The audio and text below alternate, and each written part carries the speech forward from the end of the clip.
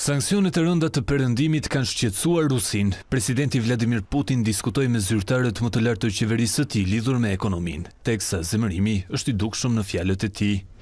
Ju kam mbledhur për të diskutuar për çështjet ekonomike dhe financiare që kam biseduar me kryeministrin Mishustin, natyrisht duke pasur në mendje sanksionet e të ashtuquajturit komunitet perëndimor, apo siç i kam cilësuar në fjalimin tim, Perandorinë e gënjeshtrave.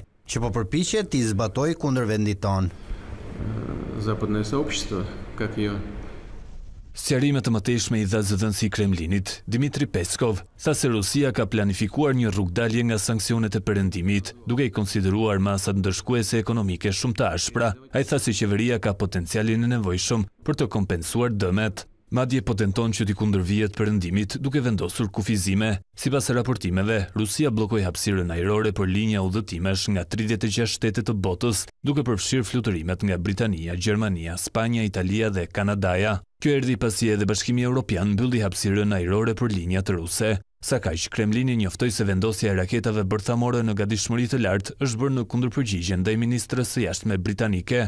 Ka pasur deklarata nga përfaqësues të niveleve të ndryshme për një situatë të mundshme konflikti, madje edhe përplasje mes NATO-s dhe Federatës Ruse, tha Peskov. Ndërkohë vjen edhe efekti i parë i sanksioneve ndërkombëtare. Ministri i Jashtëm rus, Sergei Lavrov, anuloi vizitën e tij në Gjenevë, ku do të merrte pjesë në një sesion të Këshillit për të Drejtat e Njeriut të Kombeve të Bashkuara, pasi ai nuk mund të hyjë në Europë.